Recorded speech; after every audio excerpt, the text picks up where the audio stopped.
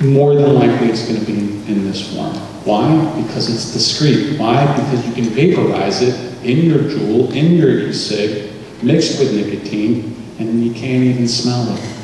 And you can just micro hit it and mm. and if you get pulled over by law enforcement or you get questioned by security, all you have is a Juul. You don't have any bud that can be smelled. You don't have a bag. You don't have paraphernalia. All you've got is your Juul. Oh, that's just my Juul, man. That's nothing. So chances of actually getting caught with it are reduced. Perceived level of harm is low. And the problem with these hash oils is it's 75% THC. Remember the three and a half from the 80s? Five people sharing one joint? This is a young person smoking 75%. I mean, what is, what is the times of that? That's like 15, 20 times the, the amount of THC delivered. There's no titration in this. One puff, and you are blasted. You are ripped. You are very, very impaired. Cannabis, particularly bad idea for kids, yes. Um, lays down that no skill, no effort, high reward circuitry in the brain. Once that brain learns, do I engage in things that require skill and effort and only give me a little itty bitty return? That sounds like a lot of work. I gotta get on my bike, I gotta ride it to school, I gotta go to practice, I gotta practice for three days, and then come game time, if I'm lucky, I get a play, and then I get my dopamine. Or do I just hit this big pen with some hash oil in it and feel better than I would if I made that touchdown? And I hate to say that, but that's how drugs work. It's an unnatural level of euphoria that the human brain was never supposed to experience. It malforms who we are, what we hold valuable, our passions. It interferes with positive pro-social experimentation with healthy things. It can rob you. It impairs judgment. Psychotic breaks with this high level THC is happening more and more. Um, so, you know, that's just a little bit. Is it a gateway drug? I'm not a big fan of gateway drugs, uh, the term gateway drug. I'm not a fan of gateway drugs either, but I'm not a fan of the term. I like to call it a drug of association. Because how it starts is think about it. Think about when we were all. Junior high, high school, why did we do things? because we experienced social anxiety, because we were insecure, low self-esteem, low self-image. When we walked into a room, we felt like everybody was looking at us, and we wanted to fit in. So if you're hanging out with a group of 20 people, and something is introduced to that group of 20 people, chances are you're going to engage in it. What depends is your parental perceived level of harm or acceptance. For kids who graduate high school, who have never used a substance or alcohol or drug free, they graduate, 75% of them report their parents' perceived level of harm was the reason why they didn't use drugs. So if you think how you view these things don't affect your children, all the research shows it does. But when those kids are in those 20, group of 20, that parental approval is the thing that will make that child break away from that. Is one of the things. So if somebody introduces cigarettes to a group of 20, there's probably going to be five or more kids who are going to be like, yeah, no, I'm good. Catch you guys later. Walk away. They may or may not reassociate with that group. That's cool, because they're going to find people who share the same interests and same activities. 15 kids are left later down the road, somebody comes in with cannabis, marijuana. Maybe five more kids are like, uh, yes, you know, I'm okay with nicotine, but, uh, uh, man, my mom or dad would kill me. And, you know, I hear that interferes with things like my sports and stuff. I'm good, catch you later. And that group is now left with 10. And then if maybe down the road a little later, somebody enters a group with cocaine or perks or benzos, and there's 10 in there.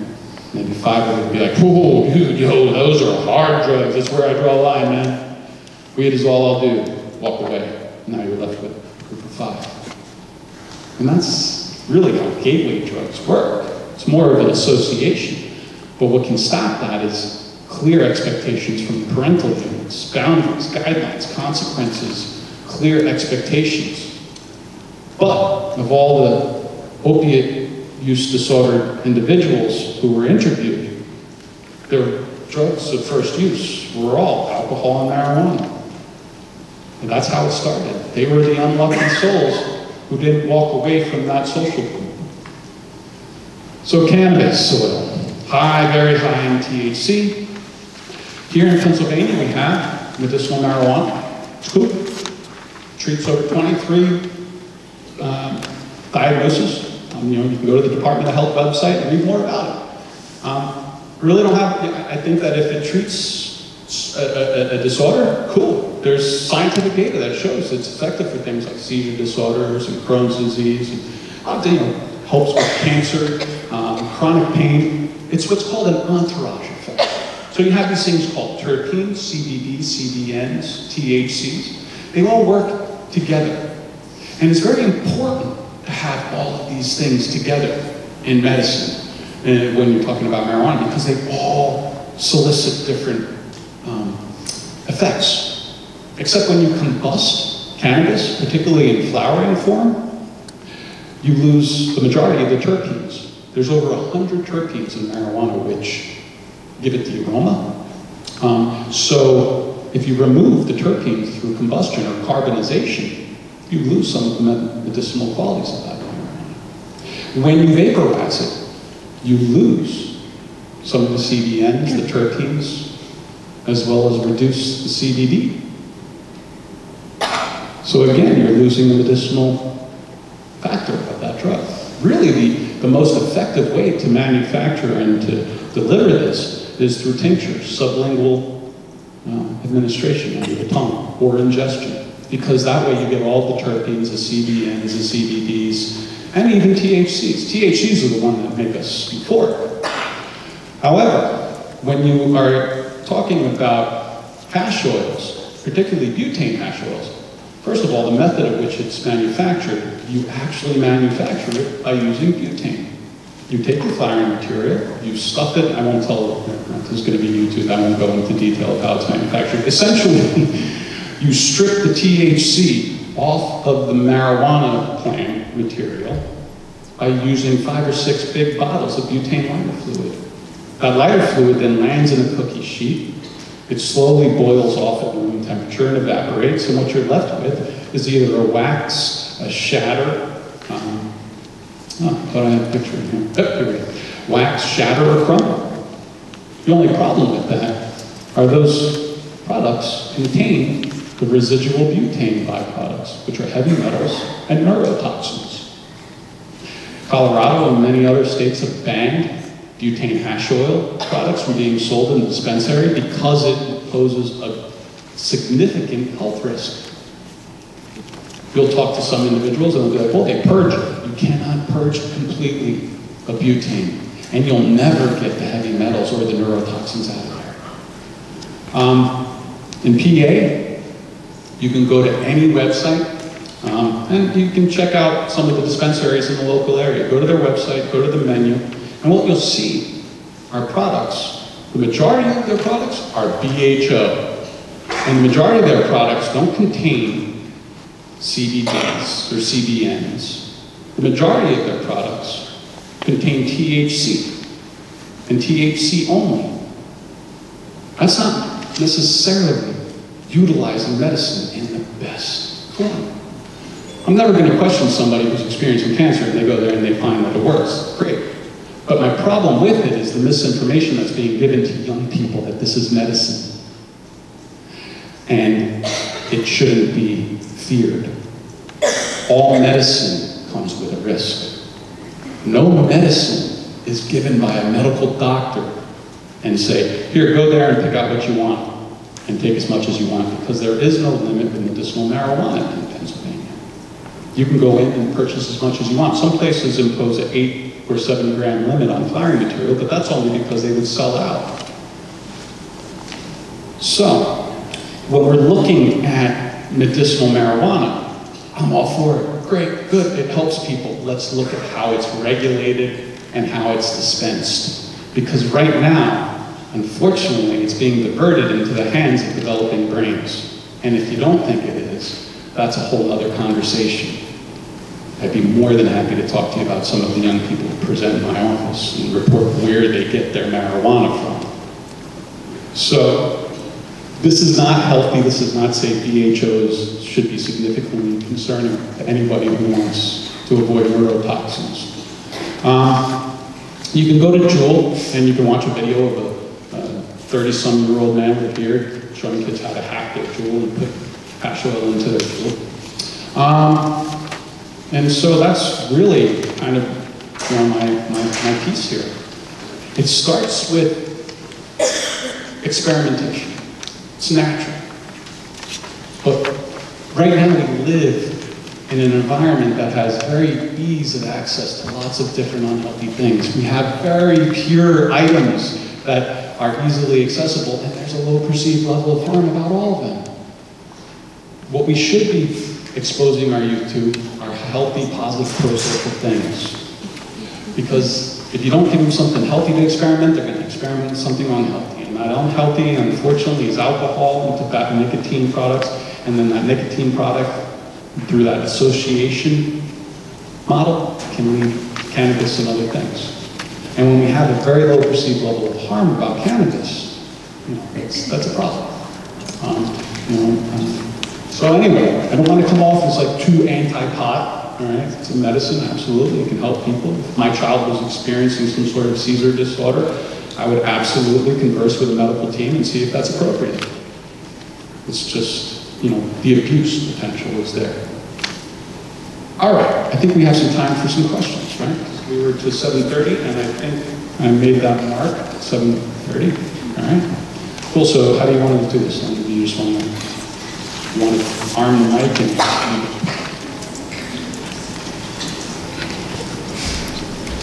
ah, you want me to keep it? So questions, and no bad questions, only really bad answers. I'd like to think I don't get those. No questions. I have a question. Yes, thank you. Um, you know how like uh, secondhand smoke, is there a Hold on, let second? me get you the mic so. No, I don't need the mic. Well, they're recording it, so. Oh, okay. I just had a question, like, for secondhand smoke issues, is there saying that So secondhand vape, yeah, um, it would have to be in a very controlled environment, like, say, a car, you know, windows up, wintertime car. Yes, you're gonna have some nicotine exposure secondhand, but the thing with the the aerosol is that disperses very rapidly into the environment, so you're not necessarily gonna like, it's not the same as, as smoke. Um, so secondhand vape is a thing, but only in closed space. If I'm throwing down 120 for a meal at a restaurant and you get next to me, am I going to be disgruntled? Yes, because there's an aroma there, there's an odor to there, and there's just the idea of this toxic substance being blown into the area. It's not as severe as smoking. But, you know, we're looking at the point source user. That's, you know, I'm concerned with the young people's health, and I don't want them to experience any type of cardiovascular disease or cancer. Other questions? Should I make some up? Just the one thing about vaping and the lungs, and what it does to the lungs. You know, you hear the popcorn lung. Yeah, so I don't usually talk about popcorn lung, because it, it's more, you know, um, kind of like scared. Popcorn lung is caused by diacetyl. Diacetyl is FDA-approved food flavoring. There was a case of some uh, uh, popcorn industry workers working in a popcorn, microwave pop popcorn plant. Uh, the air filtration system was not working effectively, and they were exposed to high levels of diacetyl over a period of time. And they actually came down with scarred lung tissue, and that's where we came up with popcorn lung. If you vape, you're going to end up with popcorn lung. We don't know that. We can't say that because we don't have the data. We know that diacetyl is in some of the flavorings, but we don't know where and when it's going to show. So it's kind of like, you know, rolling the dice. Am I going to get an ingredient that is going to scar my lung tissue? What we do know is that the majority of the flavors suspended in vegetable glycerin and, you know, propylene glycol um, are irritants. And nicotine actually can burrow into your cardiovascular uh, system, your, your arterial walls, and create holes, which take away the smoothness of the arteries. It's also leaving residual um, inflammation, which can create scar tissue on the small scale of your lung tissue. And so we're seeing, you know, lung scans of lungs which have black holes in them, and they've never used tobacco product. So yeah, the lung tissue damage is obvious. I mean, these lungs, this is raw flesh. This is unprotected flesh that you're exposing to something that was never designed to be exposed to. You know, this is the only thing it's supposed to be coming into contact with is oxygen-rich air. That's it. Anytime you put anything else in it, you are doing damage. It's just to what level we don't have a say. Yeah, Lee. I'm gonna try and get you this mic.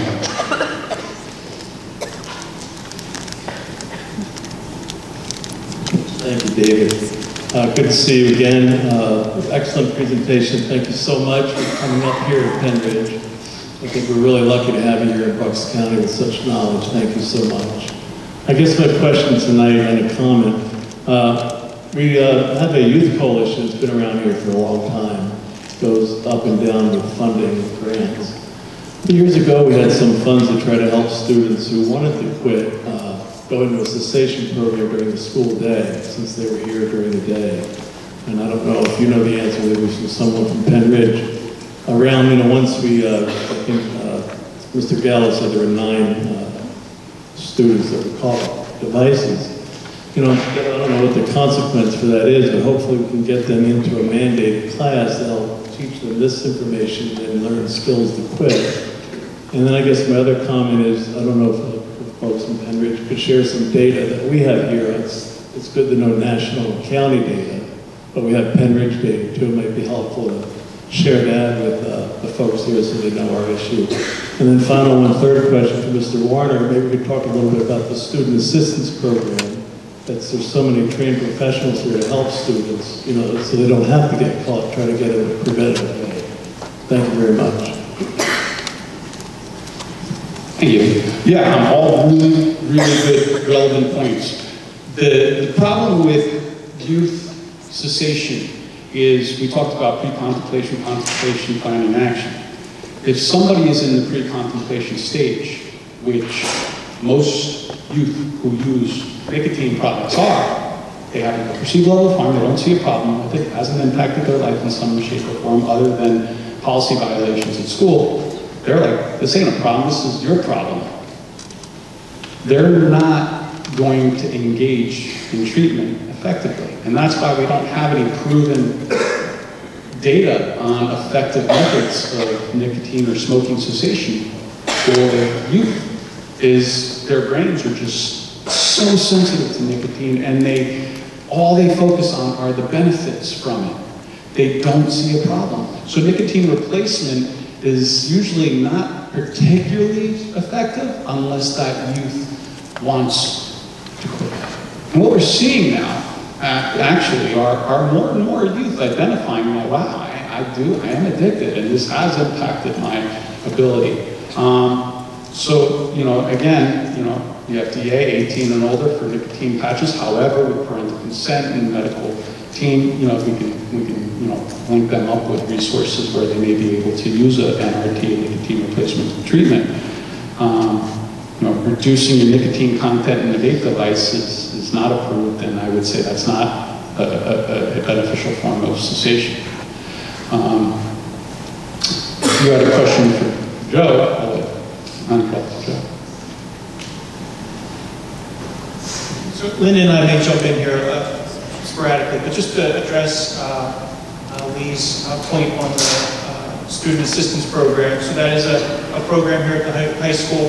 Uh, we have a, a SAP team, um, and you know, if there is uh, a student concern, it can be you know, various issues, uh, drug and alcohol, and certainly now, um, you know, vaping, uh, going in there. But what happens is that, um, you know, triggers collecting uh, information on the students so that we can see, you know, are there other patterns or other, you know, teachers, school staff seeing any concerning behavior uh, that we would want to address, that we want to, you know, uh, bring the parents in and and talk about other interventions uh, that could be done. Uh, Could be school interventions, could be community interventions. Um, Other interventions directly related to vaping, um, still, still kind of out there, we're trying to figure this out. Um, We have used um, the Bucks County uh, B-Chip um, Health Improvement uh, Program. They have a smoking cessation program over at Grandview Hospital, Um, so that, that is available. But again, this is kind of like a, you know, a little bit of a moving target, so uh, perfecting the the interventions on how to deal with vaping um, is is ongoing. Um, And, uh, and, uh, And just one other thing that we're adding this year as well. Um, Joe had mentioned some, and they were really good questions. And unfortunately, Officer Alcott had a call and he had to leave. Um, And Joe Gallo, who is our security director, he also, you can send questions in. Uh, He had said to email, you can even email for me, most of the staff that are here, and even parents, you can look up my email um, on the high school website, ltenant@penridge.org. I will be happy to get those questions um, and get answers for you, and we'll get them back to you. On our website also, as I mentioned, we're going to have this program on there. Um, And we're also going to have um, some resources. We do have on the high school website SAP, and SAP is for high school, middle, and elementary. Elementary, we have a program that uh, new this year. Uh, Very proactive, really trying to get with students that, that need help. Um, If they're vaping and if they're doing something, they definitely need help. And our goal this year, and we actually have started with the nine or so that we've confiscated, um, the assistant principal, and usually myself as nursing coordinator, we will get with that student and really try to do education, which I think is great because as David mentioned, you know, you're taking, you're punishing them, taking away that, what are you replacing it with? So we, we've actually met, and I'm hoping that that is going to be a good thing. Since the start of the year, we've met with each of those students that have had a violation. I met with them for probably a good half hour.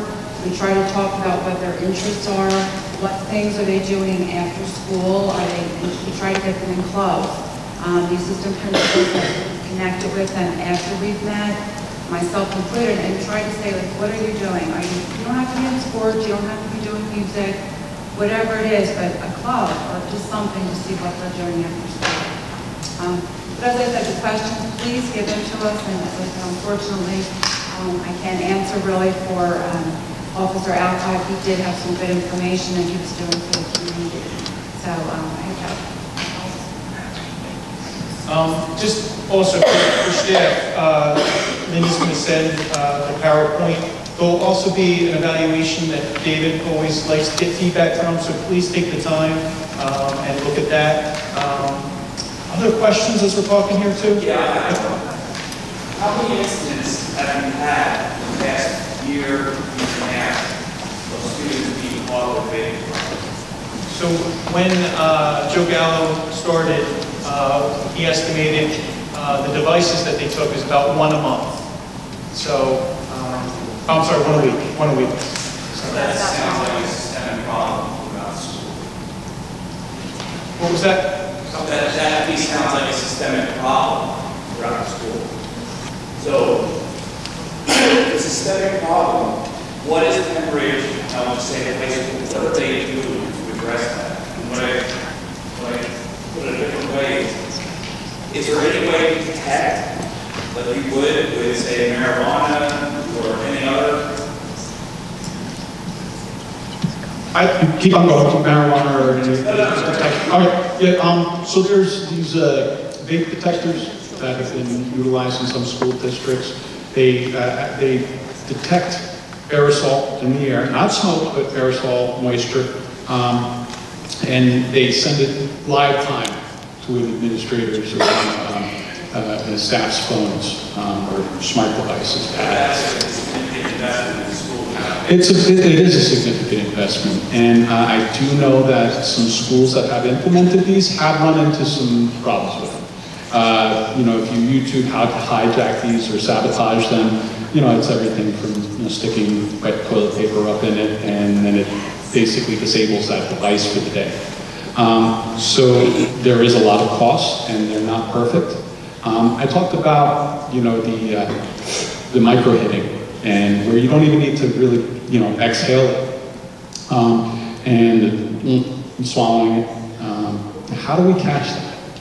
You know, um, I, you know, we, I'm not employed by a school. Um, I have no association with the schools. We're a nonprofit, uh, you know, recovery support treatment provider um, in Doylestown. But realistically, what it comes down to is social norms. We need to educate the kids and families on these harms, and we need to have very clear expectations with very clear consequences associated if you get caught with this, if I detect it, if I bring you in for, you know, uh, a oral swab for nicotine. Um, nicotine leaves the system within two hours, so it's very difficult to detect. Um, there are some uh, levels, there are some tests that can show nicotine use for up to 30 days previous, but those are very expensive. Those aren't typical urine drug screens. Those are very scientific-based tests. So how, how do you catch somebody who's currently using it? And realistically, the only way we could do that is searching, right? You know, searching an individual, looking for these devices because the use of it is so discreet and so difficult to catch. And when you go that route, we're going down a slippery slope. Do we want to go there? And realistically, the schools are able to search a student. They actually have more power, and, and I hope I'm not overstepping my boundary, um, than law enforcement does. Law enforcement doesn't have that ability at that level to search the student as does the school. But schools usually have that law enforcement officer in there in that situation if there is a search necessary as kind of, you know, you know, a a cooperative agreement. Um, so I don't know if there's a really good answer to your question, sir. Um, I would imagine you're a parent and you're concerned, and I am a parent and I am very concerned. And I like to think that, you know, all of our children are making the right decisions and they're, they're not going to be the one.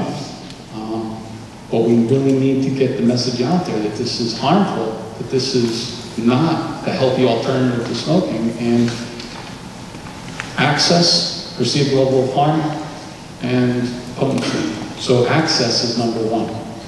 You know, everybody's anti-ban, can't ban things.